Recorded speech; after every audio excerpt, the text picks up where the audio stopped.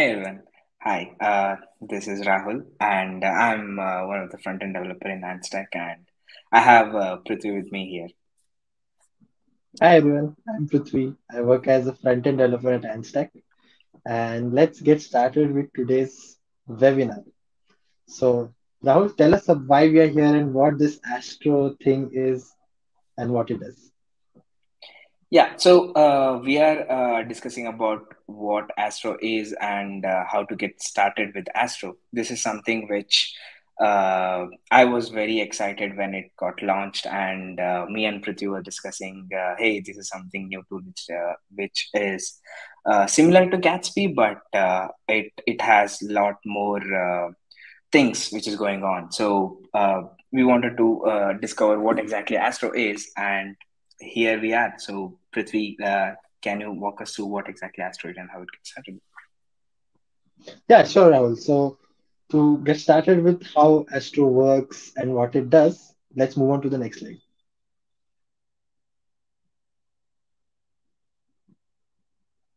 Yeah, so Astro is an all-in-one web framework. It means it does everything that you want to set up a normal web application to a robust one.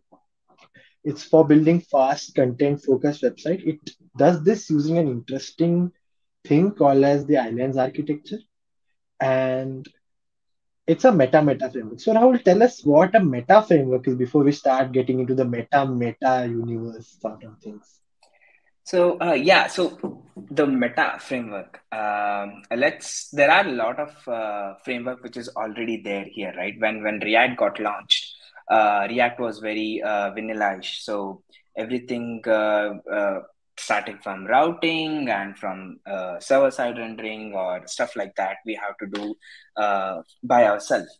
And then something like Gatsby came, which is like full SSG, and people who were working with portfolio and blogs, they were very excited about it. Uh, but uh, Gatsby was built on top of React, and then came Next.js, which is again on top of React, and then came Remix, and maybe uh, going ahead there will be a lot of frameworks so frameworks which are like uh, frameworks which is built on top of libraries or frameworks are mostly called as meta frameworks here Oh wow, that's that's really interesting. JavaScript world is growing day by day.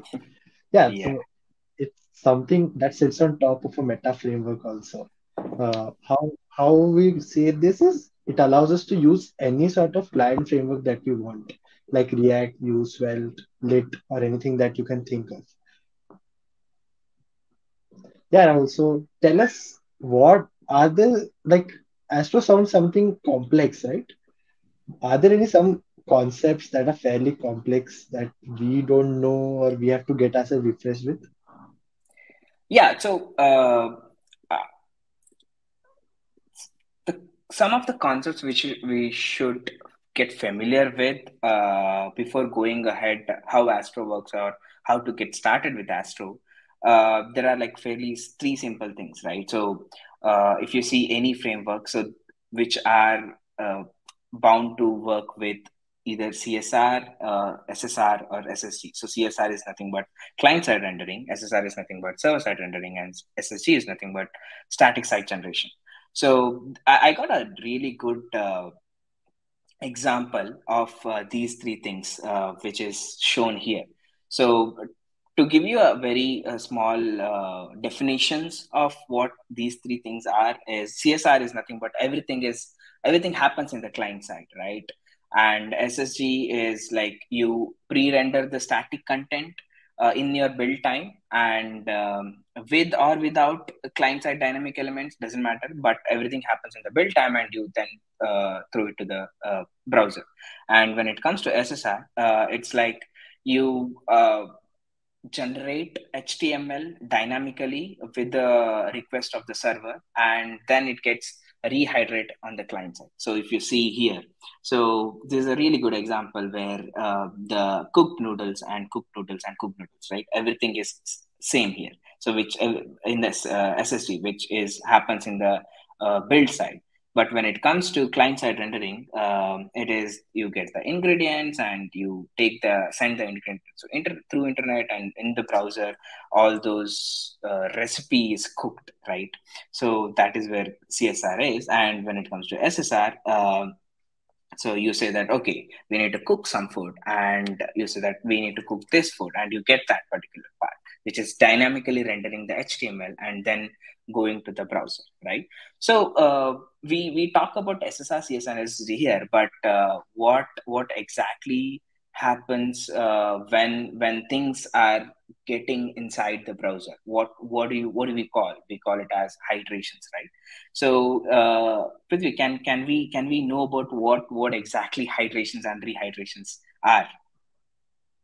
Yeah sure so rahul just gave you a gist of how things work behind the scenes what is happening in front of you is hydration or rehydration what happens is when you get the noodles as Rahul said, or you get the ingredients, they get cooked on the browser. This can be shown to you as a loading screen or as a skeleton loader that we see nowadays, right? So that's what hydration or rehydration means. Hydration basically means that the browser is doing some processing. It's trying to render all the interactive elements. It's trying to see if everything is in order before showing it to you or while showing it to you, basically. Uh, the dictionary meaning is right there. There's only there's also one more uh, thing that uh, we have here that is called as islands architecture. Rahul, can you please uh, tell us what exactly this islands architecture is? Yeah, yeah. So uh, islands islands architecture was uh, as as far as I know. I think Kathy Sylor Miller was the first person who kind of coined what islands architecture or components islands which we say. So uh, which is referred to uh, like a, like a island kind of a structure. So if i go to the next slide so uh, i'm sorry. Yeah here it is. So if you if you see this um, as, as you can see in the diagram so the independent components of uh, uh, independent components are uh, rendered uh, isolately without interacting with each other and uh, they are uh, res- the, the, responsibility of hydration of each components are by their own right? So some components are static and some components are dynamic and static component does not need any hydration because as i said it is kind of happened in the build time and you, we just have to render it in the browser. But dynamic components need some hydration because you're fetching that i need these particular components and it has to be rendered. But in islands architecture everything happens isolately and uh, that does not depend on each component. Uh, this this particular uh, process actually uh, achieved uh, in in islands architecture or in, in astro uh, with a technique called partial hydration so if if i go to the next slide uh, if you can see this this is what how these things are divided right? So in in, in the first uh, diagram we have ssr in the second we have progressive hydration and second is the islands architecture. So in in ssr which is server side rendering uh, we render all the components together and hydrate it. Like we request that we need all these components and we hydrate and we render in the browser. Uh, when it comes to progressive hydration, uh, we render all the components, but we hydrate depending on the key, like what is the priority, what should be hydrated first, and what should be hydrated next. Uh, and when it comes to islands architecture, uh, so as I said in the above diagram, so if if you see this uh, header app and uh, filter app and other stuffs are something like which is kind of very static, and things which are like carousel and uh, uh, other stuff which are kind of uh, dynamically you want to render and that will uh, render depending on what you ask for. So one of the interesting uh, stuff which which i found out in astro is uh, yeah we know that things and things like components which render depending on the priority. But uh, we as a user or a developer can actually control what to render and what not to. So uh, they call it as uh, directive templates if i'm not wrong. Uh, and it has called uh, client directives uh, in Astro, and you can say that this client has to be visible and this client has to be idle. So yeah, so that's kind of mostly about how Astro works and what are the, these jargons. Uh, but uh, this this is all theoretical, right? So uh, can can we see some kind of a, a demo or uh, some some examples that uses Astro and how that works? Uh, Yeah, sure, sure. Yeah, sure. So yeah, now that you've heard what it's doing, let's see how and let's see it in front of our eyes so that we know what's happening. That's me by the way. Yeah.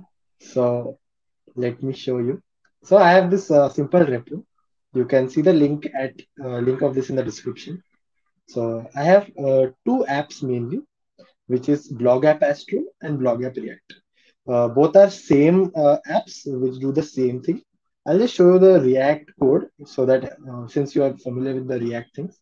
So it has the app.tsx. What I'm doing is use effect uh, so that I fetch the data from the API, onload, and then render it through a map. Pretty simple, pretty straightforward.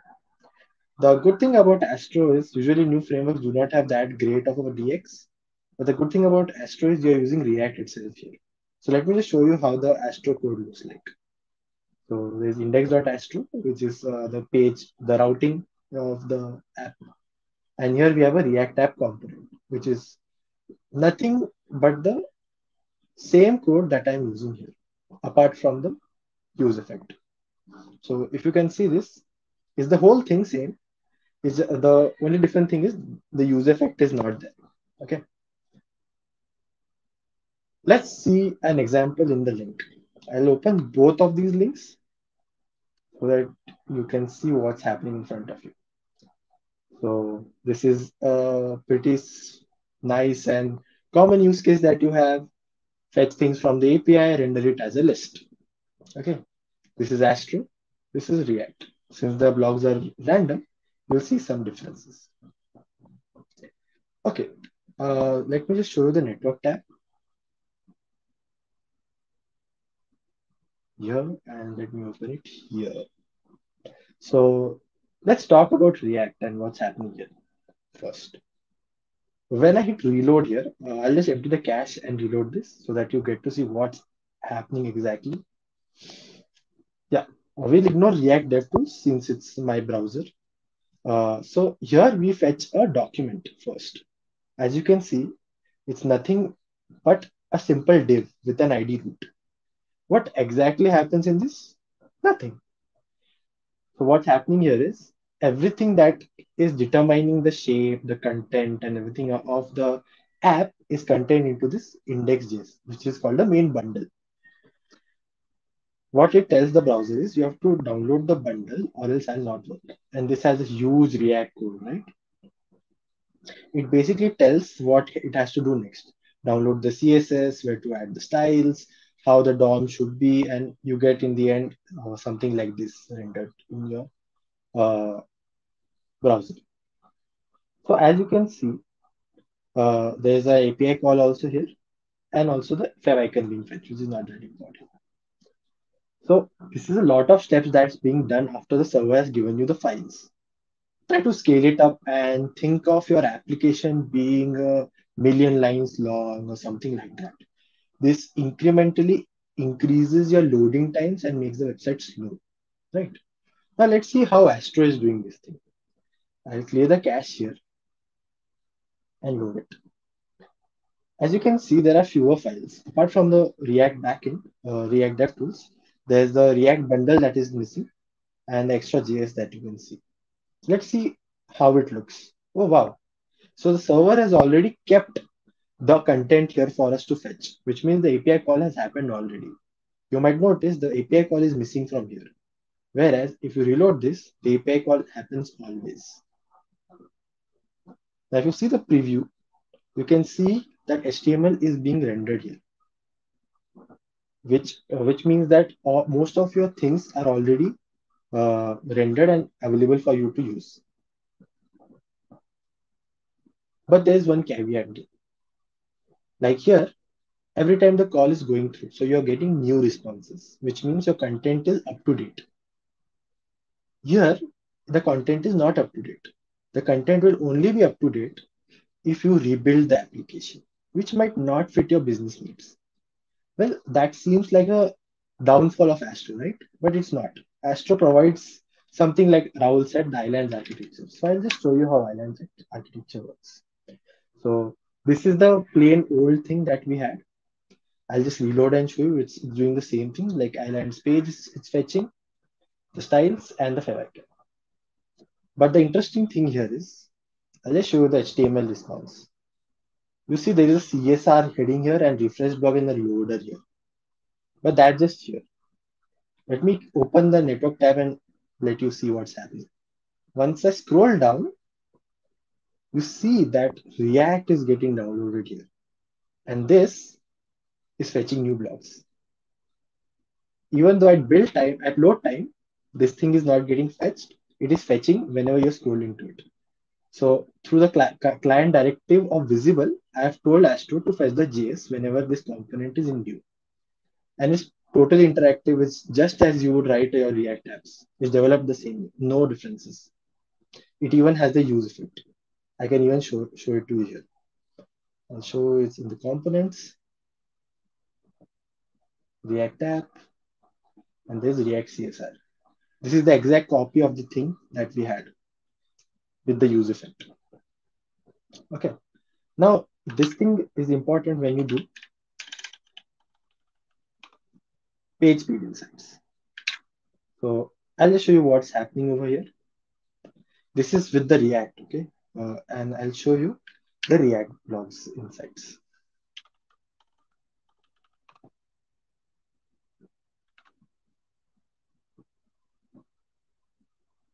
Yeah as you can see the the difference might not be that much because it's a very simplistic app. But the thing that that's important here is a tree map. So here you can see there is 2.6 kbs of js that's being used right now. And all of it's being used. This is just the intersection observer code. Here if you see the code is 98 but here the js that you are using is 246.7 kb out of which 112 is unused. When you scale it up to a bigger application with a very complex use case, you have a lot of things going on. It, this is the main reason why your websites are slow. And this is the magic of Astro. And this is how it does the things, uh, as you can see in front of you. But there's obviously not everything that's great with Astro. There are some places where Astro may not be the ideal choice. Now, can you please elaborate on that? What are the good things about Astro and where it might not be best for your business? Yes. So, uh, as as Prithvi showed, like how Astro is different from the typical CRA app. Uh, let's let's talk about some of the good things about Astro, right? Like let's refresh. What are the things which has? Like it has multi framework support.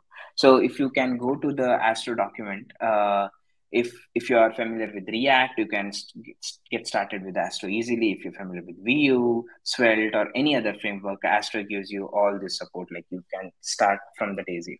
So it supports all uh, multi frameworks uh, uh, frameworks, and uh, yeah, it's hundred percent static HTML and minimal JS. So main main aim of Astro is to uh, uh, ship less JavaScript to the browser, right? and on-demand components. So one of the interesting part which uh, uh, uh, Prithvi showed is uh, it uses the client directives and you can control what component to render, what component to be static and uh, stuff like that uh, using the client directive. And uh, yeah, obviously, it, it, most of the things happens in the client server side. it has a good support for SEO and it is built for content rich websites like as i said if if your website uh, or your use case is mostly on the content side of it maybe blogs or maybe uh, portfolio sites or something which is uh, content rich uh, it's really really uh, shines. Uh, you still can use astro with the interactive stuff but that part of the application becomes like a typical react or typical svelte applications right uh, which some of things are from the client side. Uh, so yeah, so there are a lot of good things, but there there must be some uh, gotchas or some limitations which uh, Astro has. So Prithvi, can you can you elaborate like what what are the some of the limitations which uh, Astro has? Yeah, sure. So, as you saw, uh, Astro has been focused focus towards the SSG and SSR aspects of your application, which means it's not ideal for highly interactive application. Consider your music player, your, your music services that stream music to you. If you use there, there's a lot of interactivity going on. You want everything to be client side rendered, almost everything. Which means Astro will just sit there in the in the middle doing nothing of use to you, which is not a great use case to use Astro in this case. Yeah. And as you make big websites that change a lot, like there has to be changes to your content by the day, it has to change rapidly. The stock should always be there for your uh, clients to see. Uh, you see, with Astro, what happens is unless and until you build it, or unless you, un- until you think about a serious SSR uh, solution for it, there is no way to give your customers the uh, real time data basically. So let's say an e-commerce app where you need to be very particular about the stocks, the prices, the time of the day when the prices are reflected, it is not that ideal of a choice. And lastly, there's one more limitation is that if you focus on the SSG aspect of it, this is the same with all SSG apps basically, is as your page size increases, the number of pages that you're dealing with increase, it kind of slows down. Mm. Like if you go from a million pages to a billion pages, you are going to have that hundredfold increase in some part of the build process.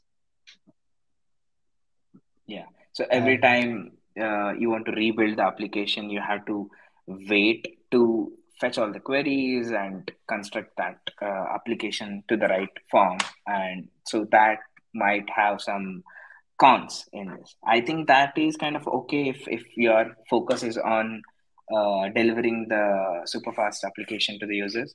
But yeah, that is that's there, I guess. Uh, yeah. So uh, we we got to know about strengths. We got to know about limitations. We also went through the demo, which uh, showed us how uh, Astro uses the on-demand components and how it is different from the uh, the CRA application and uh, uh, all that, right? So one thing which uh, I said in the earlier of the uh, uh, webinar that uh, we got excited when Astro came, and we wanted to try it out. So uh, I I wanted you to share that story, like how it started and w- where are we and how how are we using Astro. Yeah, yeah. So uh, the previous website was built in Gatsby, which was a great framework, but it also presented some problems to us, namely being a bit too complex with its GraphQL uh, and not very intuitive for dev- developer experience and non-technical contributions. So we wanted something that is very easy for developers to get into, get out of, won't require much of an onboarding effort, uh, will solve our existing problems that was solving, which was mainly like SEO because we like to put content as a company and we like to get it seen, right? And if the SEO is not great, it won't be seen by people. We want it to be good. Uh, we want the uh, blogs and webinars and everything that's associated with the content of the company to come to the customer. Uh, since it won't change that much, making it up to date is not a priority, but it should happen. Uh, it should come to the customer easily. So, what we did is we explored a lot of options. Astro was trending at the time. You can lose everything. You can try everything. And we just tried it and we started loving it. It, it just worked in the ways that we wanted to. We used it with Strapi and rest is history. And we have this uh, this in front of us. So the main features that Astro powers uh, is uh, blogs and webinars. So these are all powered given by Strapi to us. Just as just as we click on any link, it's markdown rendered and everything. All the routing, pagination, tag generation, and everything is handled by Astro's build at Astro's build setup, which means go the search engine crawlers have an easy time of crawling our web pages. And the second one is events. Events is also very similar. It, uh, it, it works in real time. It gives the webinar code. Everything is very functional, highly interactive. This is a Sorry for that. Uh, yeah, and this is where Astro shines, and Astro has helped us a lot. The DX has been great. It was really easy to onboard developers, and even in cases where the load of development increased, we were easy. We were able to easily onboard other developers who who didn't think that this was much of a chore to learn Astro because it was easy and they were coding most of it in React itself. Yeah. So I just Yeah. want to share one one of the uh, story when when we were launching uh, AntStack uh, new site. Uh, we were we were highly focused on um, how uh, uh, how to be that reach that 100% mark in the lighthouse right uh, we were already and uh, we were about to uh, kind of launch it. And we we got a requirement that we need to add uh, uh, like a stay up to date form or sign up form we call it right? So if you go to antstack.com there is a there is a uh, stay tuned form. And uh, we we wanted to add uh, uh, i'm not a robot tool there from google. And when we when we added it the lighthouse score uh, went way down right? It was like 98 ish and uh, i think we reached 60 or 70 if i'm not wrong Yeah, right? 60s. and yeah 60s so we were very worried like what to do right? Like we reached here and why why this particular thing uh, was uh, like hitting us hard. And uh, we we saw that like it was because of the library which we added and um, we were worried like what to do next and that is that is where astro came in picture right? Like uh, that is like that awed us uh, literally. Uh, because of the client directives we were able to load that particular part uh, very late right? We like uh, it uses intersection observer and uh, if what was the client directive? It was a delay if i'm not wrong. Um, i think it was visible late or delay. Uh, uh, please, please check out the Visible, uh. Astrodoc. Client visible. Yeah, client visible. Yeah, so client visible. So, so that particular code kind of helped us to go again uh, up the ladder of the lighthouse, and uh, it was super fast. So it's still there. You can go and check it out. Uh, that's that's mostly from our side. Uh, how Astro and how it works and how to get started with it. Uh, so if if anyone has any questions or anything, please tag us uh, uh, in Twitter or uh, to the AntStack Twitter handler, and we are happy to help you on that. So Yes. thanks everyone.